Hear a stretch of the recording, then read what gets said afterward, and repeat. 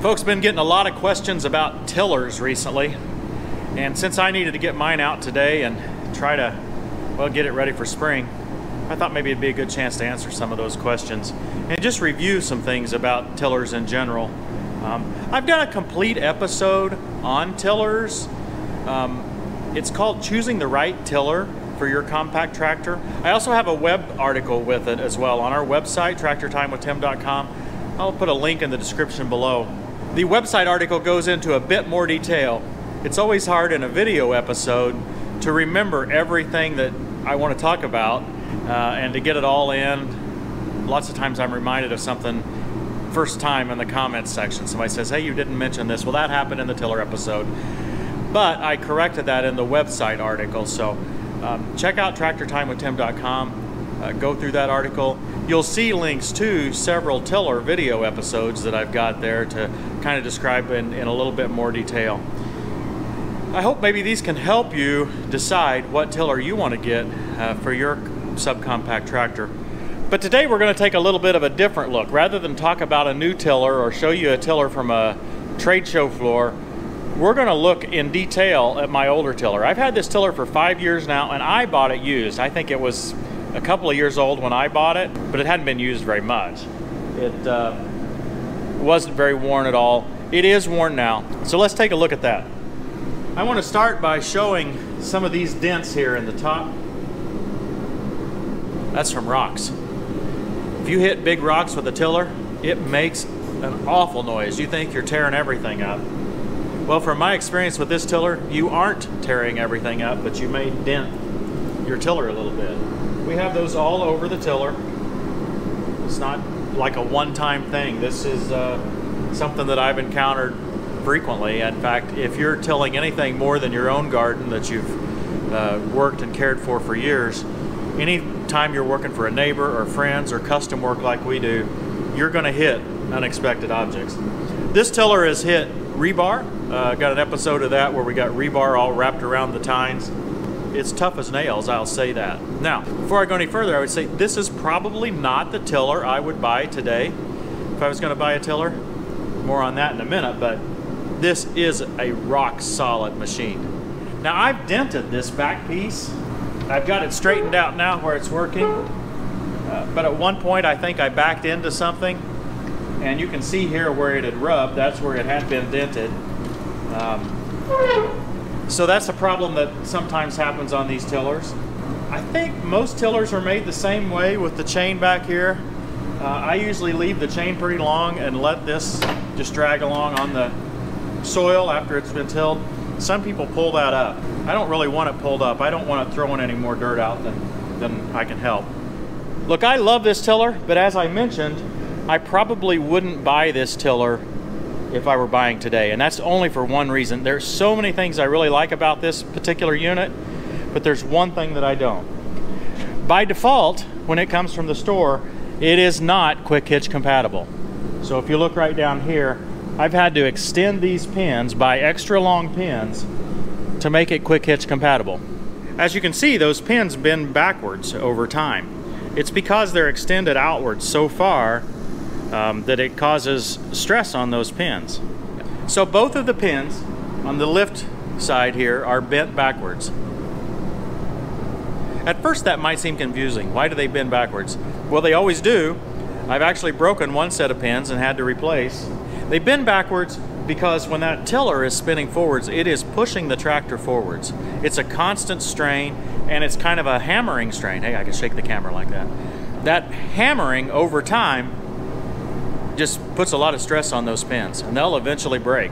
Now the original pins that come with it are shorter, they're fine. As long as you don't use a quick hitch, you won't encounter that issue.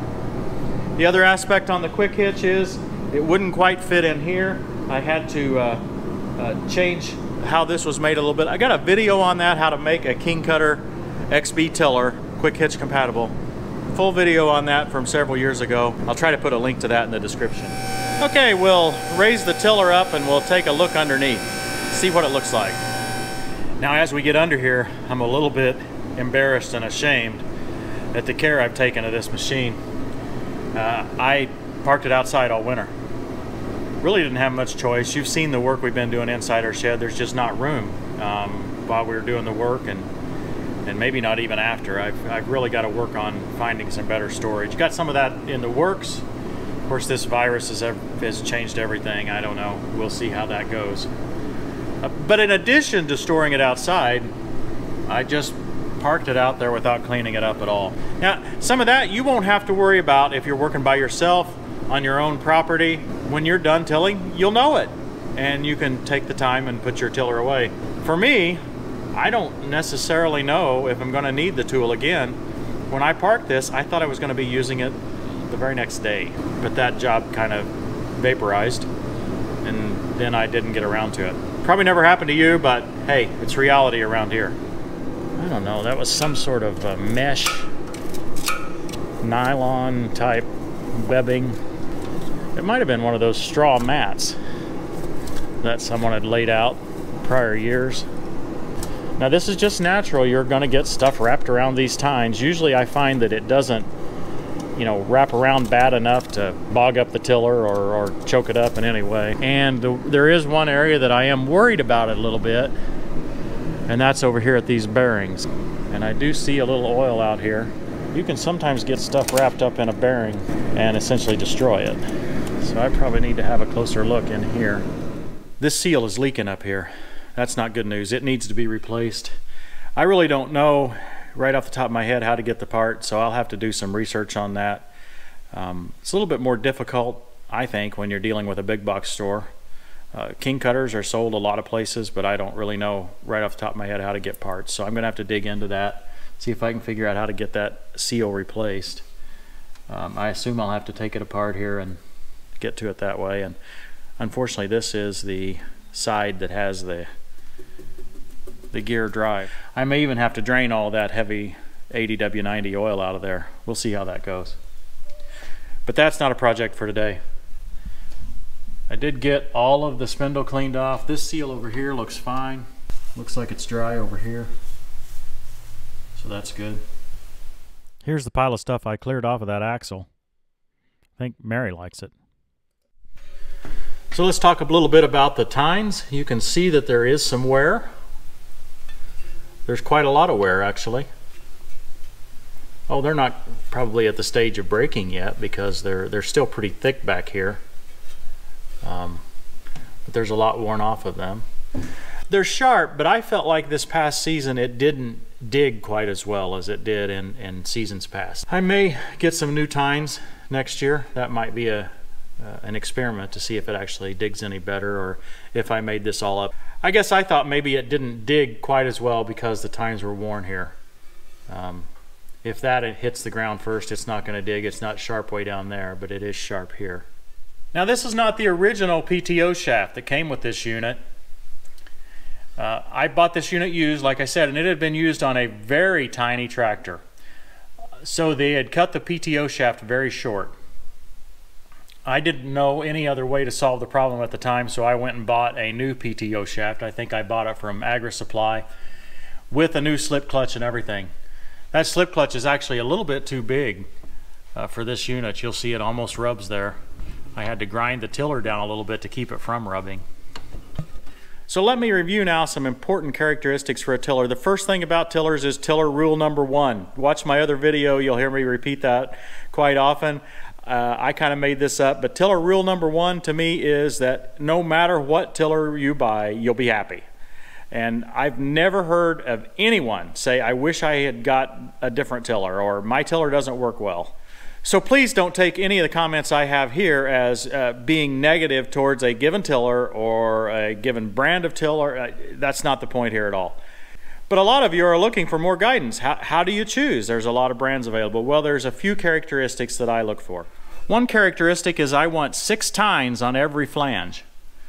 Okay, if you look at how this is made, each one of these is called a tine. This is the flange. I want six tines on every flange. Some tillers have only four tines per flange. Well, how is four tines versus six tines potentially going to make a difference? Well, there's a lot of debate on this.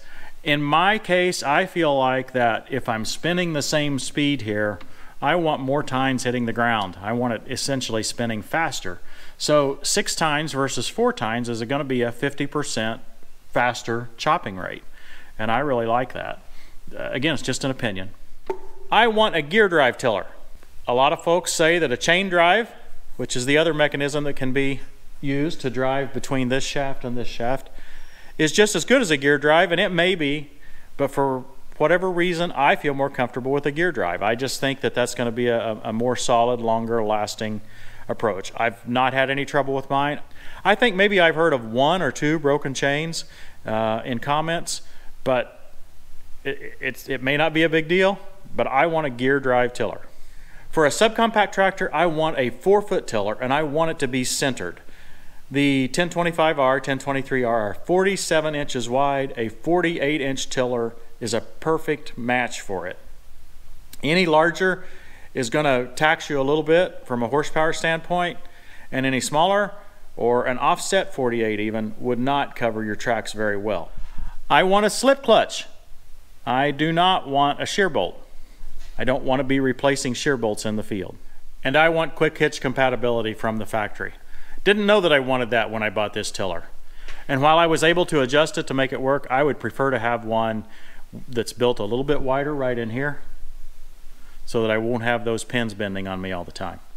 Now there are several brands that meet this requirement. This six footer that I have for the 2038R meets all of the requirements I just mentioned. From Tufline, Monroe Tufline, I think uh, it's a fabulous tiller. So I'm still leaving you some flexibility. I know some of you have probably already tilled your gardens if you live further south than we do. So you've had your tiller out, you've already used it this spring. For those of you, I'm envious. I can't do that yet. For those of you who live in areas that you haven't got your tiller out of the shed yet, you better get it out and hooked on. Make sure it's ready to go. Make sure you don't have a bunch of stuff wrapped around the shaft and take better care of your seal here on the main axle than I did. If you're looking for a tiller, I hope this has helped. In any case, stay healthy. Thanks for watching, everybody. We'll see you next time on Tractor Time with Tim.